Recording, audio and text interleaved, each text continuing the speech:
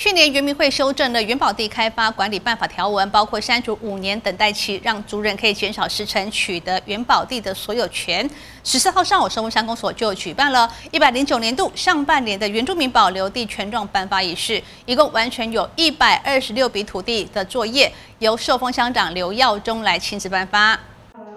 由公所原民课业务承办员唱名，收封乡长刘耀忠亲自颁发这一张得来不易的权状给部落族人。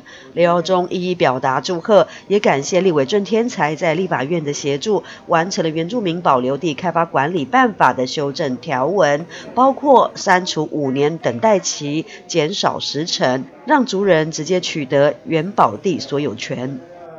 两百二十六张的权状要颁发啊，这个过程。时间可能会稍微长一点，哎，这个这个颁发这个权利的申请案件啊，审核也真的不容易啊！各位的祖先啊，历代下来的耕作，我们都需要保留我们的权利，所以那个郑郑天的郑立伟啊，在立法院啊，都替我们争取。原住民的身体这个权利，真是不遗余力，这个真的要感谢他啊！我们我们政府都很照顾我们原住民，要保留我们实际耕作的土地，啊，继续耕作。以后拿到权状以后，我们就要好好利用这个土地，来来来来实地来耕作。今年的二月一号以前。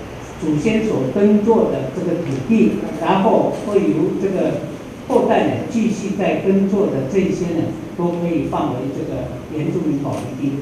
可是现在呢比较宽松一点哈，我想这个也要呃感谢我们所有的土土地审查委员。那我们过去呢还有五年的这个呃这个期限，那因为地方委员的争取，所以这个五年呢就。就没有，就改为直接发给各位的这个呃所有权状。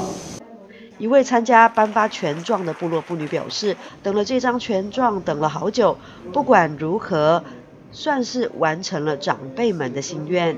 十几年了，大概是十五六年的时候。那这次有请到吗？就就是婆婆死了以后才请到的啊，就是跟着跟着政策走啊，他们政策是怎样就是这样走啊，要不然怎么办？我们也不能不能怪他们说。那么慢还是怎样？这一次乡公所原住民保留地增化编业务，总共完成了超过一百二十六笔的原保地。乡长刘耀忠表示，未来会继续努力，也感谢乡公所承办科室同仁与每位图审委员，大家一起为原住民工作努力，让族人们尽早领到原保地所有权。记者刘明胜受封采访报道。